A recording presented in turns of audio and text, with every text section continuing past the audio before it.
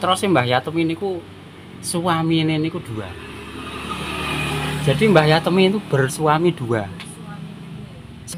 Jadi ini yang satunya. Joko bensin. dan yang satunya itu yang Joko bensin. Ada dua suaminya yang satu itu tadi. Dan yang satu ini, ini.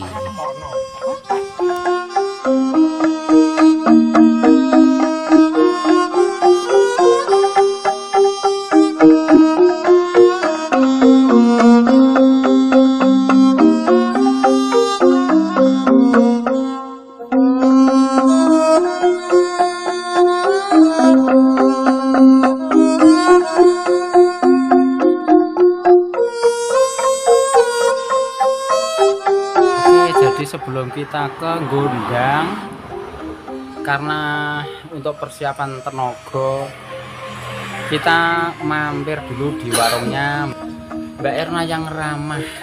aman warungnya murah kopinya enak mantep olah utang sisa Jadi teman-teman semuanya kalau melintas dari Bojonegoro lewat Temayang ke arah Nganjuk di Desa Sugian, nah pas selesai ngelak-ngelak mampir ini.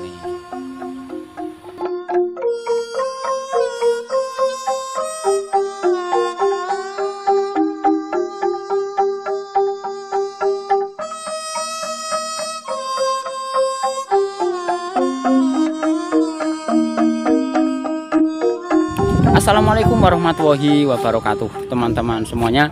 Pada hari ini saya berkesempatan berkunjung di sebuah tempat yaitu di desa Jari Kecamatan Gondang Kabupaten Bojonegoro. Jadi di depan saya ini ada sebuah kali yang namanya atau disebut dengan kali asin.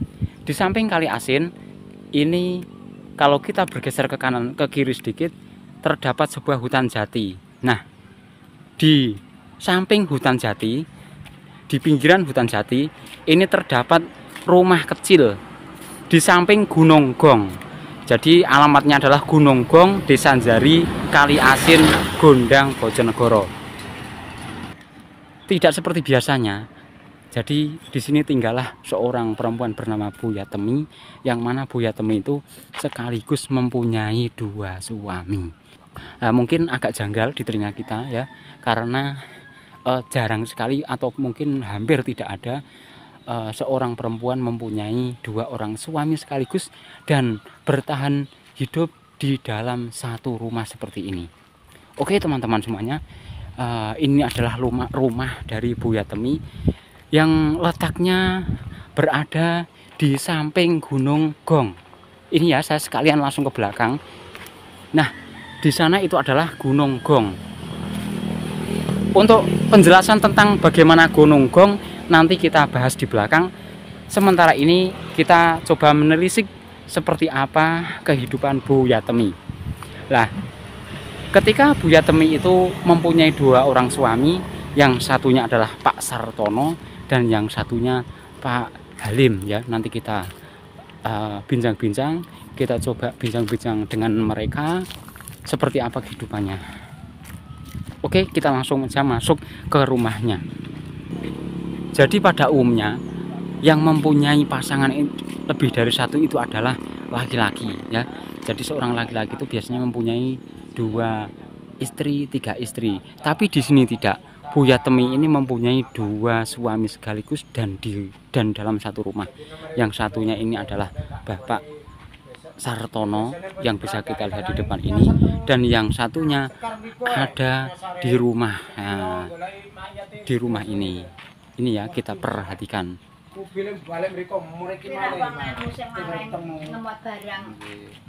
Soalnya nggak ada meripeten desa nggak yang tapi termasuk Bojonegoro. Saya jelas jari kali asin mesti semerap gunugong ketik wonten wong ijek mawon mawon Oh, mana nomornya ya ini yamen ano semerap Nggih, nggih. Ndok banyak Kecemplung kuali. Kecemplung kuali. Kok Enak nggih wong jari. nek krasa enak ndek wong jar. Ora nganggo jari.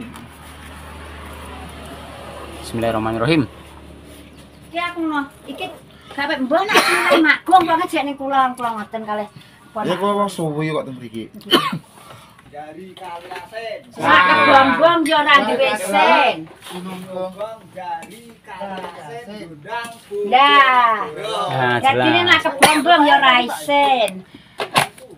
Kak Gunung Gong Jari Kaliasin. Oh. Niki alamate.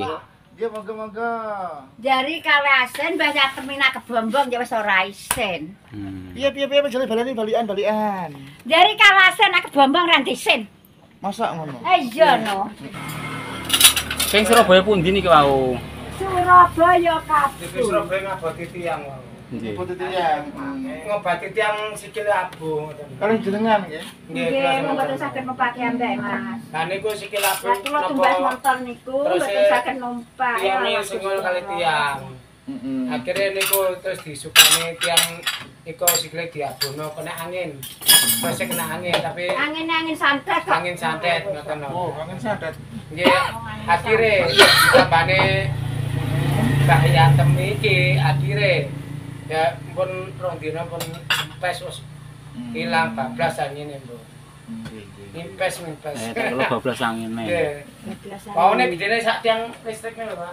Kondange dadak basa dipeleboni omahe wonge dadak ayune wis sak kabupaten. Gak ning wong ayu nak Lah ora ayu, ora kelakon duwe bojo loro. Nggih. Lah penake no Mas wae kok sapa. Wis ra ganggu gitu. Pak. Hmm, Bojo loro dadi sitok sak omah. Nggih. Hmm, Sing sing sing bahanang sing Mbak. Sing sing sing wis iki. kawan. Oh, heeh. Kula umur 15 tahun Mas. Nggih sing sing bapak nomor setunggal teng ngarep niku wau, sing bapak nomor kalih iki. Lebih sedasa tahun. Hmm. Sing wis Mas aku karabin wis tuwek mah. Iya, heeh. Kok taki nombong ndak gak waras. Hmm. Wis gaduyan nang. Lah mungkin nek enten tiba-tiba nek enten wong ganteng malih. Ora seneng Mas wesan bae. Eh bosen. Wis bosen. Roy gentan-gentan wis mlenger ya, ya. Blenger Mas. Kaku wae nuruti aku. Jadi Ibu Yatemi ini dua suami tinggal satu rumah, nggih Bu nggih. Nggih. Sing setunggalnya Tapi masih nak sing Mas setunggalnya sampean foto kaya apa aku gak mbak papakno ya Mas. Mboten sing setunggalnya masih niku ra Nggih, ngerti gitu. nggih. Terus sing setunggalnya Iko sing Niko. Nggih. sing niku juga bensin. Jadi ini yang satunya Joko bensin. dan yang satunya itu yang jogo bensin. Nah ini ya. Jadi Mas ada dua bayar. suaminya. Eh ada dua suaminya yang satu itu tadi dan yang satu ini. ini. Pak, Sar Pak Sartono. Hmm. Oh, Lah gitu. sing Pak ini kau Pak sinten? Pak Abdul. Salim. Pak Abdul Salim. Oh, Pak Abdul Salim. Damin. Boten, Jadi, Pak ibu Abdul ini Salim. Eh, sekali lagi saya katakan ya ibu ini punya dua orang suami sekaligus. Yang pertama adalah Mas Abdul Salim tadi itu yang dari Surabaya. Hmm, yang Satunya ini Pak Sartono. jadi Ya toh, bener ya? Heeh. Direbut apa nih toh pinter. Ngene iki gak ayu tapi kan. ngene iki lek Lah piye kok ngono iki tenanan lho iki? Giroh Mas iki yo kok ngono to kebacot kowe. Ya aku mbok jak ngono Mas ya apik. no. Guyon-guyon gitu. Iya iya Mas, Nggih, iya. napa sing jenengan aturaken iki apa sih? Iya, jadi Teman-teman sekalian. jadi teman-teman bahwa ibu tadi ibu Yatemi itu ya memang mempunyai dua orang suami ya jadi yang satunya itu Pak Sartono dan yang satunya tadi itu adalah Pak Abdul Salim atau siapa gitu. jadi uh, Bu Yatemi sendiri di sini membuka warung di pinggiran jalan dan di pinggir hutan ya. Jadi rumahnya ini berada di pinggir hutan seperti ini. Ada hutan jati kemudian di sebelahnya ini ada Gunung Gong. Nah ini adalah Gunung Gong. Sedangkan Gunung Gong ini eh, dikenal sebagai apa namanya persewaan gong jadi biasanya para tanda eh, para apa namanya panjak-panjak itu suka minjam gongnya itu di sini ya di tempat ini di tempat gunung gunung gong ini.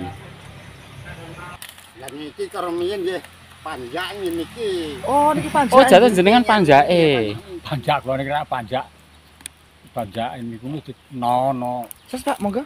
tapi kula mboten anu, Betul, Ses. mboten Oh, nggih. prei mau nek sesak mantuk Oh. jadi kudu prai prai rokok ngoten Nggih, nggih. Oh, rokok jadi untuk narik gong di sini harus pakai rokok ya Dadi- tapi jenengan niku panjak gongen, panjak gong. Nggih. Oh, berarti jenengan manjak niku pun dangu Pak nggih? Pun to awet Oh. tasik nomo. Manjak niku nggih. Nah, panjak niku kan lek istilah musik kan pemain musik kan ngoten nggih. Nggih. Lek neng gamelan Jawa kan niku tukang tukang main gamelan Jawa niku arane panjak kan ngoten nggih. Pemusik lah ngoten bahasane Pak. Panjak.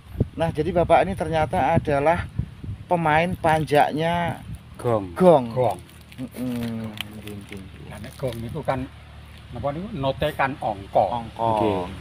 Nek musik niku ora Do re mi Aksara nggih. Nggih aksara Do, re, mi, fa, sol. Nggih, jane nggih sami. sol, la, si. Do re mi fa sol la si Do. niku. Do si la sol fa mi re do. do. Nah. Do re mi fa sol la si do.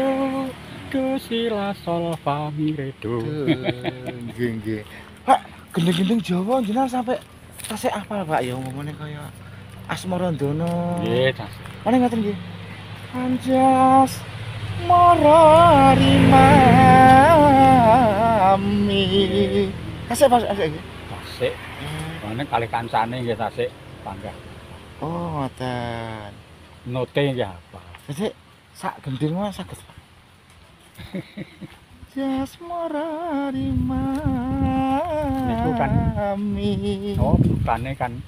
Rojiro, jiro, rojiro. Ro, jiro jiro nem ngoten Ngoten. ro jiro nem ro jiro lu mo lu ro ji lu ro lu ji lu ro ji lu ro ji nem rak niku to Nggih. Terus lanjutnya kayak Mas Miracola oh. niku anu Pak pun diramakno niku Oh, pun diramakno ngene nggih. Oh, nggih, nggih, nggih. Nah, teman-teman sekalian, ternyata Bapak ini adalah panjak dari Gong Gaib. Nggih, heeh. Panjak Gong Gaib, Pak. Nggih. medeni Guyon ta nggih? Bener apa ta?